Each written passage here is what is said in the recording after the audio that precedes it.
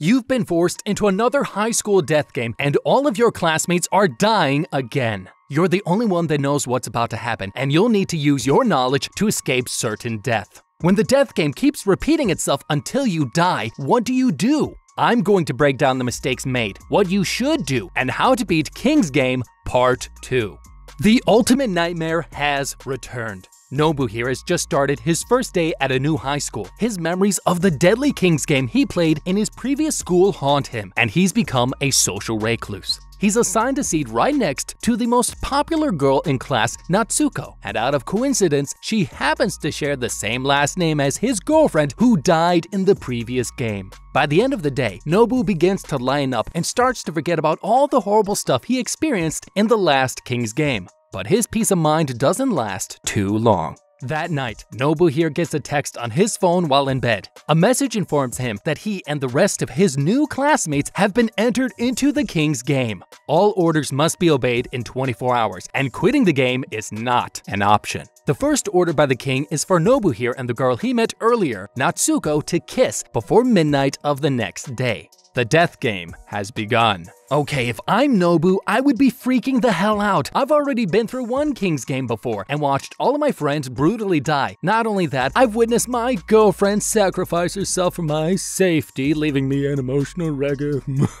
Luckily for me, I know what's coming next is deadly, which means we need to take action now to save my own life. My first priority would be to convince the rest of my class that this game is not a prank and I'm not just some creepy guy who wants to make out with hot chicks. Dork! Now, it would make sense here to consider for a moment not to tell anyone at all about the King's game being real. That way, more students will be likely to die quickly from not following the orders early on, and I'd have less competition. But unfortunately, the first order of the game was given to us, which means we can't use this strategy. As soon as we obey, the king will let everyone else know that we follow the order. The better thing to do here is to tell everyone about the king's game and complete our order, but then at the same time keep some of the details a secret so that I could use those later to my advantage, and proving that this game is real can be done very easily. At Nobu's previous school, 31 students brutally died throughout the course of a few days, and he was the only survivor. I'm sure there would have been widespread national coverage of these deaths and multiple police investigations. While the police and media might have hid his identity for privacy reasons, since he's a minor, he still has plenty of provable evidence that he was involved. If it were me, all I need to do is show my new classmates photos of me and my friends in my former classroom, and the media coverage of these incidents happening, and they'd probably be scared enough to believe me. If that doesn't work, why not just get out my phone? Assuming I haven't got a new phone, I can just show them texts of the previous game and all the crazy punishments dished out to my old classmates. The next day, all of the classmates gather around to discuss the text they've received. Most of them think it's some silly way for Nobu here to get in on his crush, and who can blame them? Nobu knows that he's in store for another death game and he can't handle the thought of playing through it again. So he volunteers to be the first victim and is willing to die and take Natsuko down with him in the process.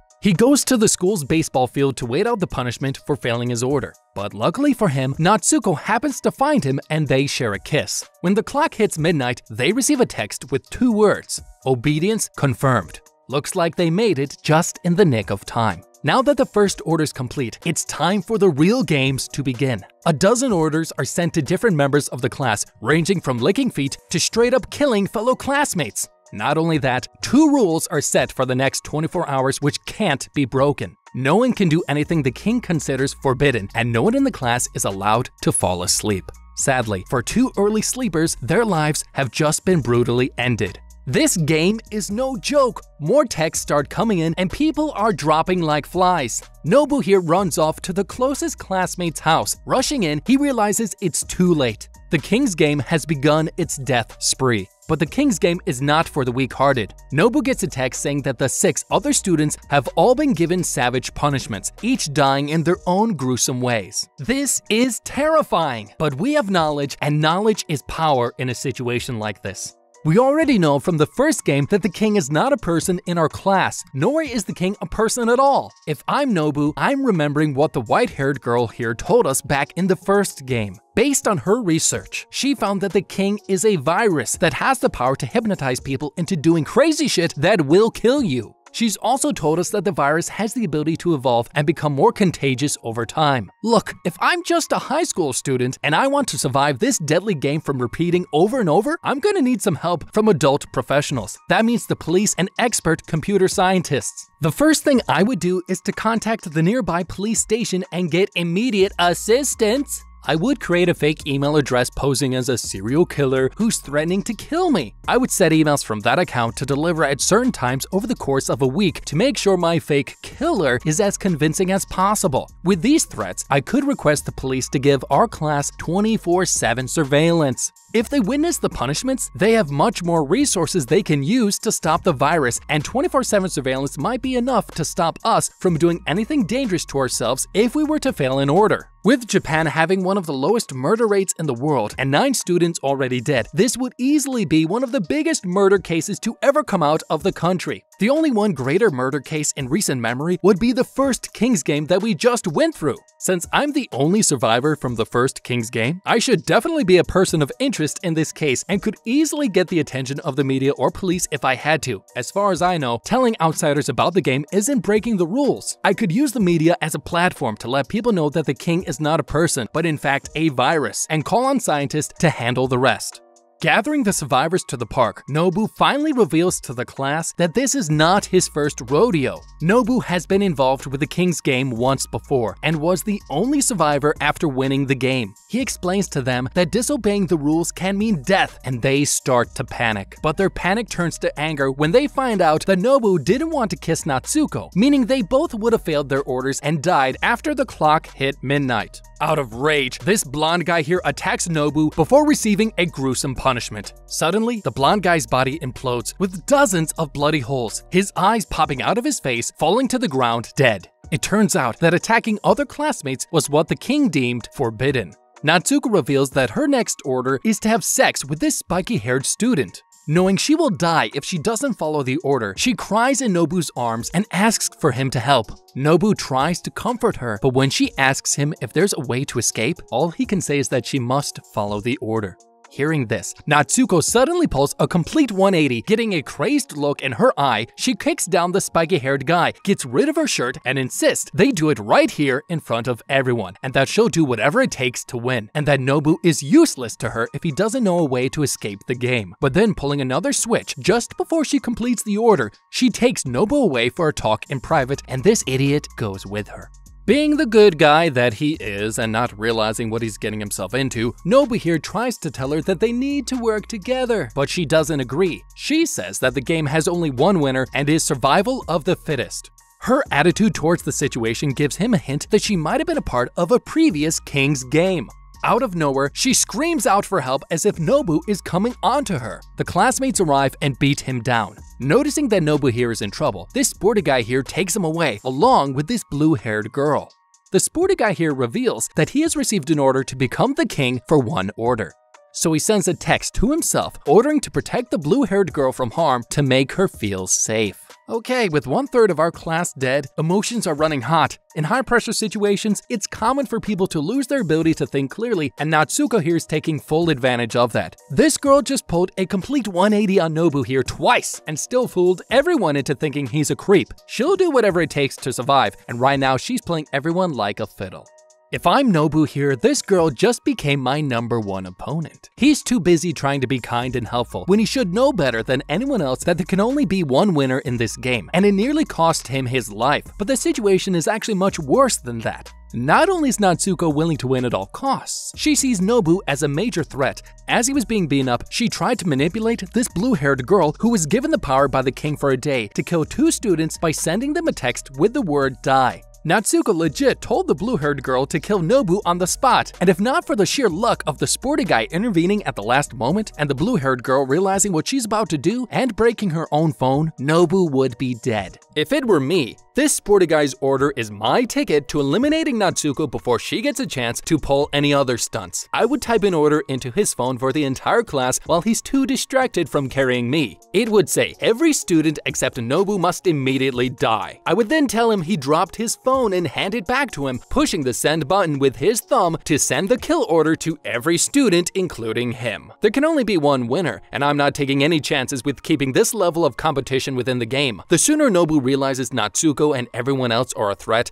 that he has no choice but to deal with, the better. After they escape, Nobu here explains the situation they're in and where the King's game originated from. A place called Yonaki Village was the birthplace of the game. The three decide to go to the village to find clues on how to beat the game. On the way, Mizuki replaces her broken phone and the group travels by train to Yonaki Village. At Yonaki Village, Nobu finds a picture of his dead girlfriend from the first game and her father in one of the houses. Exiting the place, he finds a dead body with another picture beside it. This time, time, it's the father holding two babies, finding two names on the back of the picture. He finds that Natsuko and his dead girlfriend were sisters and the dead body he found is their father. So that's why they both had the same last name. This information lets him confirm that Natsuko is in fact also a King's Game survivor. He also finds out that their father was in the first ever King's Game. Meanwhile, texts are sent out showing that seven more students have been brutally murdered by the king. In a matter of three days, half the class has been wiped out. Since the village is pretty remote, the blue-haired girl and the sporty guy go to the nearest radio tower to get a phone signal in order to complete their orders. When they reach the tower, the sporty guy knocks her out and sends the text with the word die to himself and Natsuko from her new phone. Not knowing that the text must be sent from the original phone, the blue-haired girl is sentenced to death for disobedience disobedience, while the sporty guy here is sentenced to death for failing to protect her. While all this craziness is going on, classmates continue to die. This girl here has been given an order to be groped by another classmate, but he's already dead. Another girl has been ordered to lose something important as she brutally murders her parents and is about to do the unthinkable, but gives up, leading to her death. With both of his friends dead, Nobu tries calling his spiky-haired classmate for help, but Natsuko picks up the phone and tells him that she has taken both the phone and the spiky-haired boy hostage in order to complete her order and for her own amusement. She mocks him for trying to kill her from the wrong phone and informs him that she is even holding his own phone too. Without their phones, Nobu and the spiky-haired guy can't play and are sure to die. Desperate, Nobu tries looking for clues and that's when he remembers that players of this game and the previous one were given the mysterious single syllable text that may lead to some answers. Natsuko takes the chance to gather everyone at a park where they discuss the next order that they just received, and it's to play a brutal game. In the order of their classroom seat numbers, they must take turns breaking their own fingers. In each turn, any student may break as many of their own fingers as they wish. Breaking a right hand finger is worth one positive point that you can assign to anyone, and breaking a left hand finger is worth one negative point that you can assign to anyone. Whoever has a negative point total at the end of the game will be punished, and if they want, players have the ability to pass on their turn. The game ends after each player has taken one turn. So we now know for sure that Natsuko has been in a previous game, just like Nobu here. This means she's dangerous, because you don't beat the King's game without going through some heavy mental trauma, and we need to be treating her as a very serious threat, and take action to eliminate her as soon as possible. Before the game starts, I would tell everyone about all the crazy information I've I've just gathered on my little trip to Yonaki Village. I tell them this to convince them that at this point, we all need to be working together to take Natsuko down. She's a complete liability to the rest of us, and we know she's prepared to do the most savage things to win this game. And we know that her father was in the original game. She herself has been in two games, and her sister was in the previous game. It's like a little King's Game family reunion where none of the family members come back alive. Looking at this game, there's a lot of strategy involved, but it can be boiled down to a few simple concepts. First, the last player to go holds the most power, because after their turn, the game ends, so no one can undo their moves, and anyone with negative points immediately dies. Secondly, collaboration gives you a lot of power. For example, in 4 players against 3 players, the 4 players can give 20 negative points by breaking all of their left-hand fingers. This will give each of the 3 opponents 6 or 7 negative points, which means even all 5 of their right-hand fingers won't be enough to save themselves. But the most important thing thing to understand about this game is that even using these strategies to gain an advantage, it's almost impossible to prevent someone from taking revenge once you've doomed them to die, if they still have a turn left. If, however, you team up against two players, they might not be able to save themselves, but they can both work together to kill one of your teammates, which is exactly why I wouldn't play this game by the rules at all, because we need to think outside of the box here. Instead of playing this game, I would get all of my classmates together and pin Natsuko down to the ground. By now, the death game rules against violence being forbidden for 24 hours is already over, and we can convince the remaining players that she's been evil the whole way through and that she doesn't deserve any more chances. And even if she has one or two friends that are on her side, the rest of the class will be too much for them to fight off. They start playing, and most of the students team up and agree to pass their turn, including Nobu here, after his friend asks him to trust them. That's when this spiky haired guy who was taken hostage and his phone taken by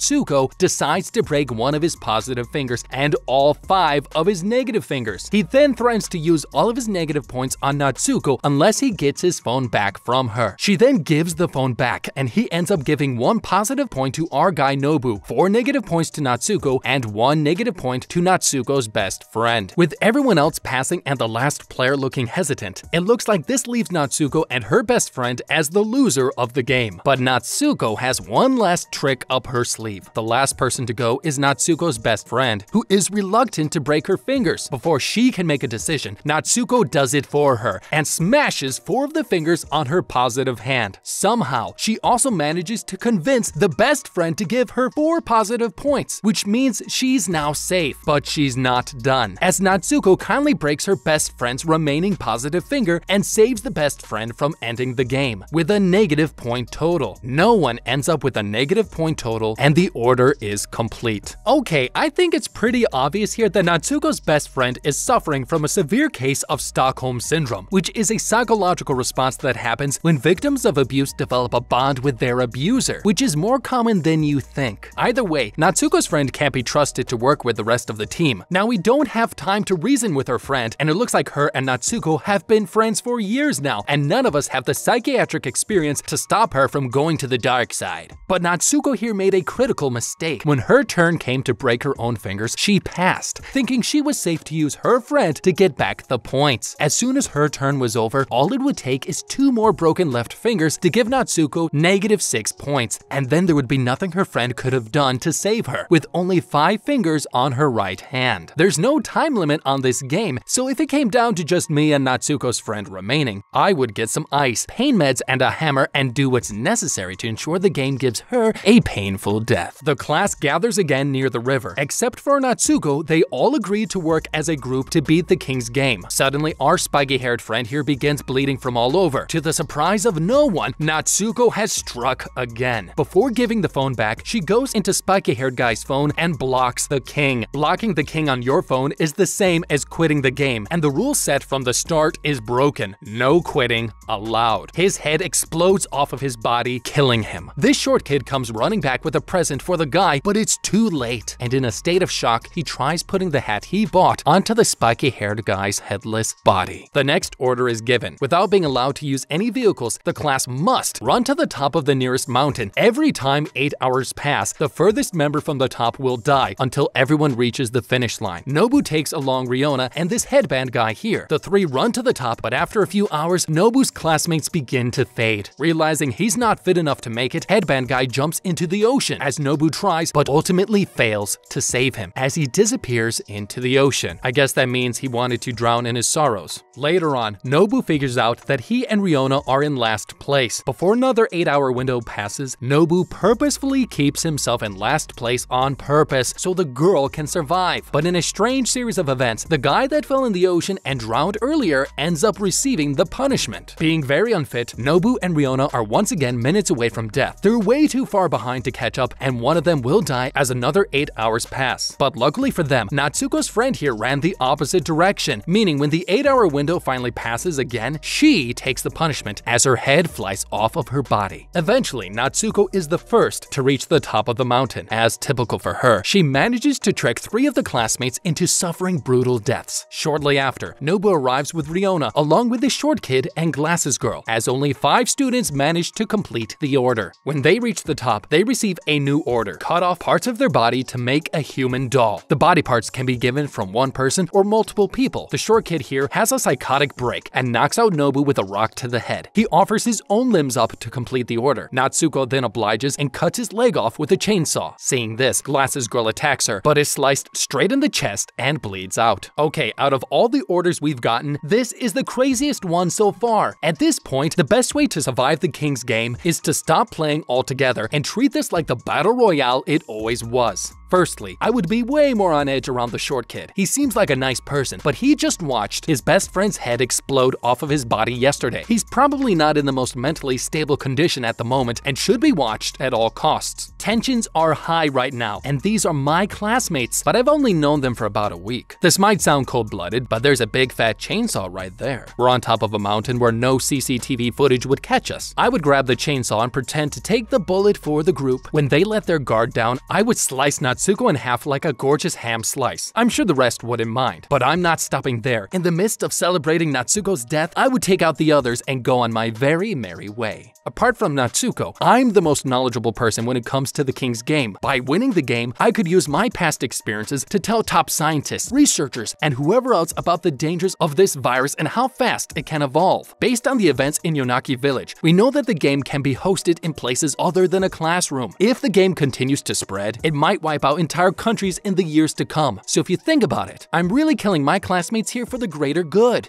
After seeing the chaos they've caused, the remaining three stop fighting and decide to get to the bottom of this game. They remember that everyone who dies while playing the game gets a single syllable text sent to them before they're punished. By combining the syllables, they find a message that says, End the game by ending your life. Even if one survives, the King's game won't end until humanity is destroyed. The King virus sure has a dark sense of humor. Realizing that the game will never be beaten, Natsuko here attacks the main character. Suddenly, she gets a chainsaw to the spine from Riona and the madness looks to be all over. Riona then has a romantic moment and confesses her love to Nobu here before being rudely interrupted with a chainsaw through the throat as Natsuko briefly comes back from the dead. Both of them fall to the ground while bleeding out. Speaking her final words, Natsuko admits that she's also in love with Nobu because of how similar he was to her old boyfriend. However, in a matter of seconds, they both die due to blood loss. Nobu arrives in the afterlife where he reunites with his girlfriend who died in the previous game. The rest of his fallen classmates look on at him before Natsuko appears again, this time looking to be at peace with herself, and the group wanders off into the horizon. Only one person remains. Riona here takes the dead body of the main character to the beach as they share a final romantic moment together. She kisses him and finds that his body has gone completely cold. Realizing that there's nothing left for her, she carries his lifeless body into the ocean before disappearing. It looks like she chose not to continue. Sometime in the future, life has gone back to normal. Before long, a brown-haired student receives a text from a mysterious number that says, This is the King's Game. All members of your class will participate. You have 24 hours to carry them out. The games have only just begun. and if you don't want your brown-haired friend getting you caught up in the King's Game, then subscribe for dear life, like and comment, let us know what you liked and of course didn't like, but be nice about it, and check out a how to be playlist down below.